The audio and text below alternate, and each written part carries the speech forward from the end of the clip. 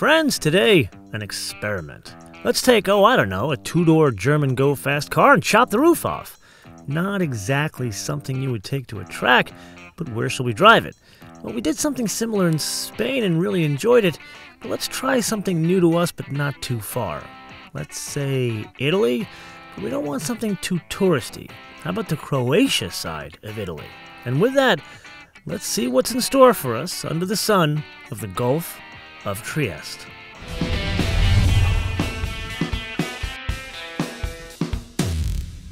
I feel like as of late I've been starting these episodes with We've been here before, or I'm feeling a touch of deja vu, and this is really no exception. We've driven this engine before. We've driven this in the C63S Coupe. So just as a recap, what is it? Well, it's a 4-liter twin-turbo V8, and when you think Mercedes and 4-liter twin-turbo V8, you probably think AMG GT. And yes, this is a related engine, but it's not exactly the same engine. The biggest difference is in the GT, it's a dry sump lubrication system, a side oiler. Uh, this one is not. So what's going on here as it's related to this application? Well, there is the base C63, which is 469 horsepower, which comes in at a relatively high engine speed of 5,500 RPM, stays flat all the way to 6,250 RPM. And then there's the torque, which we're excited about, which is 479 pound-feet of torque, comes in at a very low 1,750 RPM, stays flat all the way up to 4,500 RPM. Now this one we have here, of course, I picked out the full-fat C63S convertible. Uh, so this gives us a bit more power. So on the horsepower, it goes up to 503 horsepower, which also comes in at 5,500 RPM, stays flat all the way up to 6,250 RPM. But the torque, that's really the biggest change for me. That's 516 pound-feet of torque, and that comes in at also 1,750 RPM, stays flat all the way up to 4,500 RPM. Now let's put that aside and notice what's going on here. Well, first thing you notice is this was hand-built by Patrick Vogel. And number two, there's two turbos that are sitting here. Notice where they are. They sit kind of on top of the engine in the V, or a hot V as sometimes this is referred to. And really there are a couple reasons why an engineer would put the turbos in the V. The first and foremost is the packaging. I mean, look at the size of the front end of this car, and they have shoehorned a V8 in really what was meant for a four and a six cylinder. But there's a second less obvious benefit from the packaging and that's the placement. So notice where the turbochargers are here and notice the distance from the front of the car. Now if I were to take these turbochargers and shoehorn them down here somewhere, the air has to travel farther to get to each turbocharger, where in this case the air has less distance to travel, thus it cools them more efficiently. Now that all sounds great, but how does it work out on the road? First things first, welcome to Slovenia. Uh, not only is this the first time we are ever shooting a car in Slovenia, but it's the first time I personally have ever been here and a stunning place, as you can see. Uh, so yeah, there's that. Now let's press on to the car, shall we? Now, you and I are not unfamiliar with this engine. Uh, our job now is to unpack how this works in the heaviest version of the group, and that is the convertible. Now, if you remember, in the C63S Coupe, there's a whole bunch of different changes that you can make to the throttle mapping. Right now, I'm in the comfort mode, and okay, we're going downhill, so let's get to the bottom of this hill. And by the way, just stunning. Let's put our foot into it around this corner. And yes, there is plenty of pulling power, even in comfort mode, but uh, was that really a shocker? So let's try this now a little bit tighter. We're gonna get a nice little bridge here, but let's prepare and go into sport mode. Going up this hill, look at this bridge. Oh boy, that's beautiful. Now let's put our foot into it. Oh, lost a little bit back there. So yeah, I would say there's plenty of pulling power, especially on mildly damp Slovenian roads. You really, if I'm honest, you don't notice a huge difference in pulling power even with the heavier car. Okay, now we get into a clearing here. Let's go into the Sport Plus mode put our foot into it a bit more because we can see where we're going. Plenty of pulling power. Is it as frenetic as the coupe? Maybe not, but I don't know if that's a function of the added weight or the fact that it's an open car. Now let's go to full fat mode, race mode, put our foot into it a bit more. Well, maybe not around this turn. A little bit of delay. Now, wait for it. Here we go. Ho ho! Yes, it's got plenty of power where you get to go sideways now that's something we're going to cover in a bit. Uh, that's the stability control mode. So yes, you can have fun even with the electronic bits coming in, but the reality of the situation is that is the higher threshold mode. Basically, when you go into race mode, it switches you uh, from the full stability control to a basically a higher limit of intervention. And yes, you can turn off the stability control system. Oh, that was a pisser. So check, yes, there is plenty of power, even though it's heavier, but we go over a beautiful bridge there. And can I just say, I love driving in Slovenia. Okay, so this is the point of the episode where you need to break out your notebook, your etch a sketch, your speak and spell, whatever it is you use, because there are a number of bits that affect the driving dynamics. Let's call them moving parts, because that's what they are. Um, and we need to really complicate things further because we have to put them in two columns. There's the C63 and the C63S. So let's dive in with the brakes. So if this were a C63, uh, the rotors would be 14.2 inches in diameter. But this is not a C63, it's a C63S. So that means it's 15.4 inches in diameter. But to further complicate things, uh, this one is fitted with optional carbon ceramic rotors. So uh, the front is 15.8. Let's put aside the brakes and let's move on to all of like the adjustments. So you and I have driven many a Mercedes, the GLC all the way up to like the S65 Coupe. And in every one of those, there's like a dynamic ride control. So you can adjust everything from the throttle mapping, the steering mapping, to the dampers, uh, from a comfort all the way up to a Sport Plus, or in this case, a race. Um, but in this case, and we found this out in the C63 Coupe episode, there is a separate ride control function, which is just the dampers. So you can separate the dampers, basically how you map the dampers from the mapping of the engine, the transmission, and the steering. So for example, you could have this in race mode and this in comfort mode. Not that you would, but you could. So let's put all of that aside and now let's focus on really what makes this different. Again, in the C63S Coupe episode, that we learned was more than just a C63 or just a C sedan with just two doors lopped off of it. There were a number of engineering changes, but the biggest thing that contributed to the driving dynamics of that car was the change in the width. So for example, it was about two inches wider here, but about two and a half wider in the rear. Now the convertible is more based on the coupe than it is the sedan. And there were some other changes, and you really need to check out that episode because we saw all the bits here, like the suspension bits. There was a whole new rear suspension and different knuckles up front, all that kind of stuff we saw naked in that episode, so make sure you check that out. But now we need to get to that dirty six letter word, the weight. So uh, no one was pretending that AMGs are light cars in the past. However, in any case where you chop the roof off of a car, you're always going to increase weight. And that's not just the top itself, but it's the top plus all the structure bits to make it still a somewhat strong vehicle. Well, if you're looking from a coupe to this, it's about 275 pounds difference. But from the sedan to this, it's about 450 pounds difference. And some of the biggest components that lead to that is the top is about 110 pounds more, and then all of the structure that goes into it is about 165 pounds more. Okay, now that we've covered that dissertation on driving dynamics, let's see how this all works on the roads of Slovenia, or is it Italy? I forgot which border we crossed yet. Anyway, let's just find out how it works.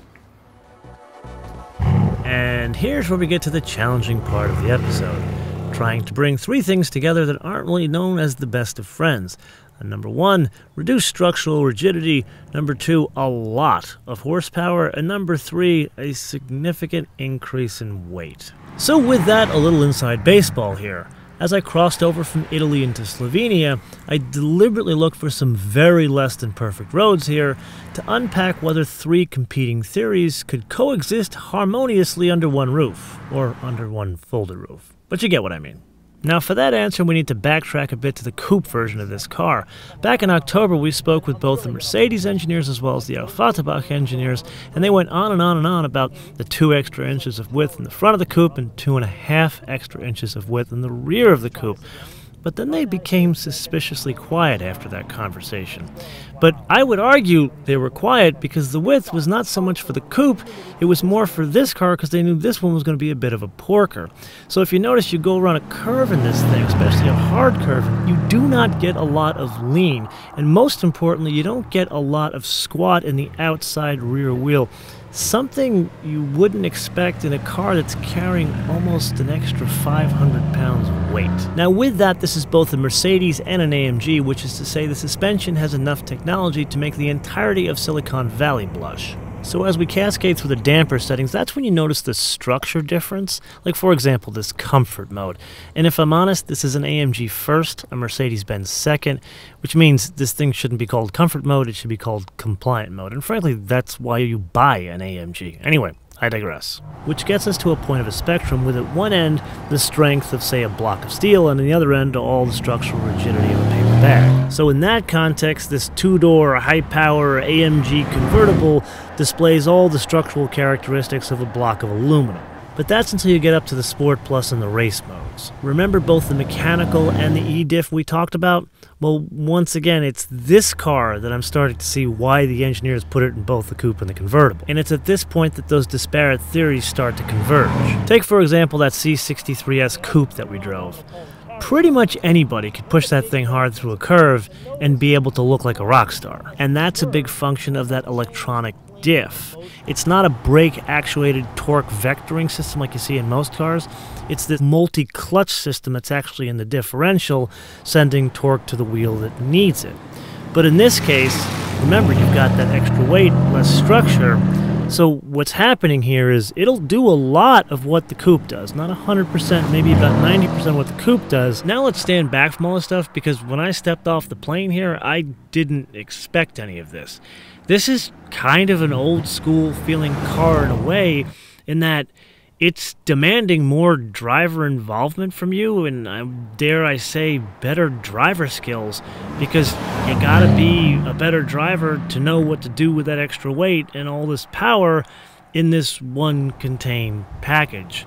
Which I gotta say is kind of refreshing to have this autonomy left back to you, the person, and not the engineers. So for quite some time, I had this lovely vision of visiting the Adriatic, sitting on the Gulf of Trieste, looking at beautiful cars and even more beautiful women under the glorious sun. Sadly, that is not meant to be. But there is good news. Gives us an opportunity to check out the roof. And this is a more involved affair than my Elise, uh, which basically has a towel and two plastic rods that hold it into place. Uh, this believe it or not, is a weight-saving measure. So I already told you this is about 450 pounds more than the sedan, about 2 250 more than the coupe. So the idea in Stuttgart with the engineers was to do some weight-saving high in the car, and they did that by looking at load-bearing and non-load-bearing bits in the roof. So here, for example, where the roof meets the car, this is steel, heavier. But then a non-load bearing area, the leading edge here, this is magnesium, and then the top bows here, not the ones back here, these are aluminum. Now notice you can't even see the structure here, and that's a function of the actual top itself. So you got the canvas, yeah, then there's the insulation, and then there's the headliner underneath it. Okay, so we've got that, and I know it's still raining somewhat here. Folks in Stuttgart aren't gonna love this, but I still wanna demonstrate something to you guys here, so let's try this.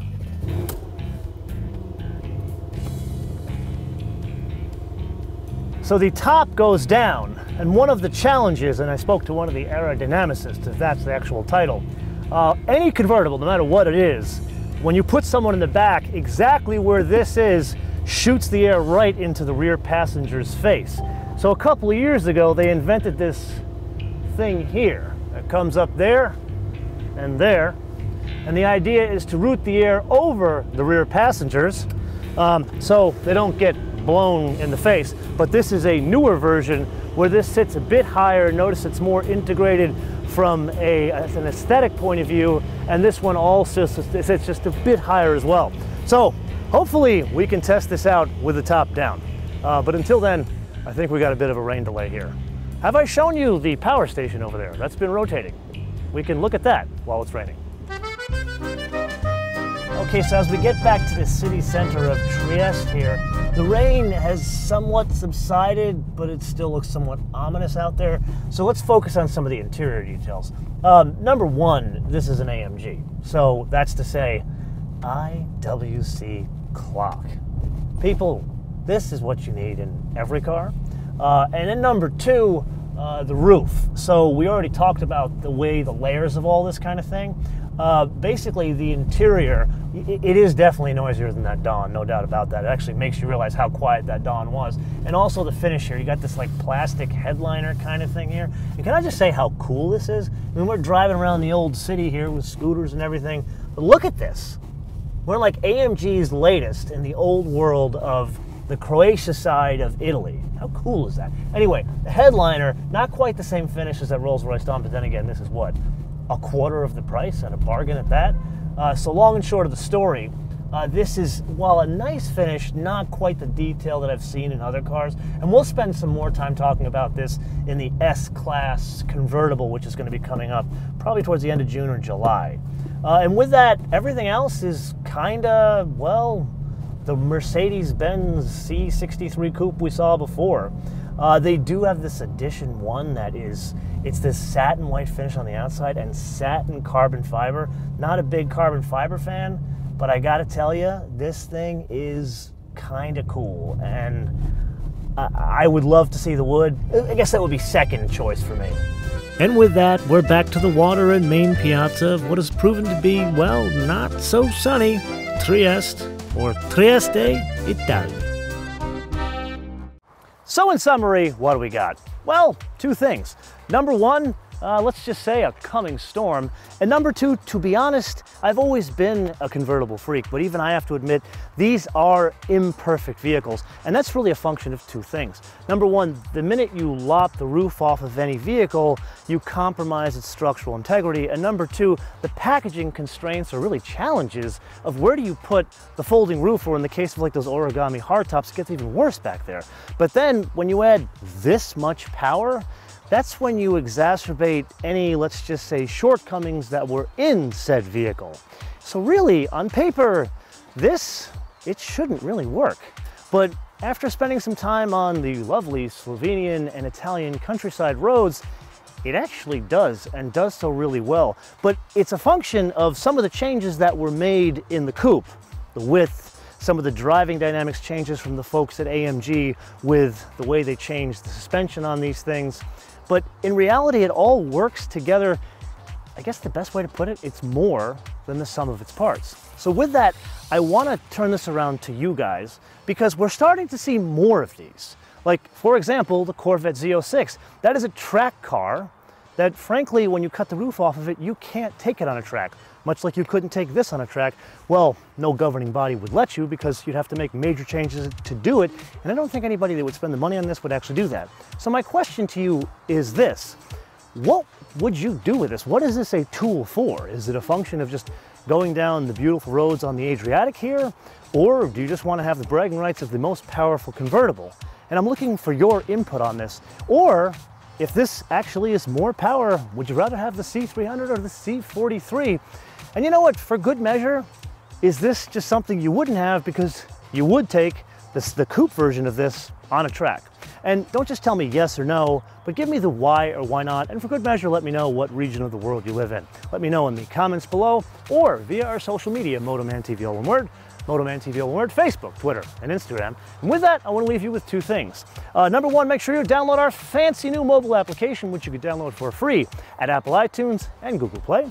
And number two, a fun fact. So we already talked about how you can operate the roof up to 30 miles an hour in this vehicle. Um, but really, when you're going 30 miles an hour with a big roof going up like that, it's not a roof, it's a sail. So what did the engineers in Stuttgart have to like dial in in terms of pressure to the hydraulic system to get that thing to go up at 30 miles an hour? The answer, one ton. From Slovenia, until I see you next time, bis später.